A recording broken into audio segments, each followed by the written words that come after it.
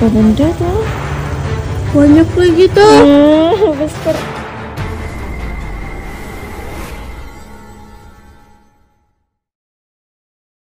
Seorang wanita berasa terkejut apabila terjumpa tanah di dalam kuih yang dibelinya.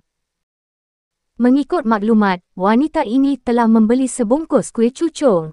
Namun sebaik sahaja kuih tersebut dicubit untuk dimakan, tiba-tiba beliau ternampak sesuatu yang aneh di dalam kuih tersebut. Pada awalnya, beliau menyangkakan ianya serunding ataupun gula melaka, namun apabila dihidu, barulah beliau sedar bahawa objek tersebut adalah tanah dan bukannya makanan. Apa ni? Cuba aku cubit tu. Cuba aku cubit. Macam Eh, Tanah. Betul-betul buat tanah. Bukan makanan ke? Rasa macam makanan ke? tak tahu.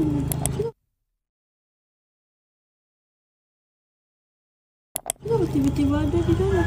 Tengok mana? Apa benda tu? Banyak lagi tu. Hmm, besar. Wanita ini kemudiannya cuba memeriksa baki kuih yang dibeli, namun semuanya tidak ada sebarang masalah.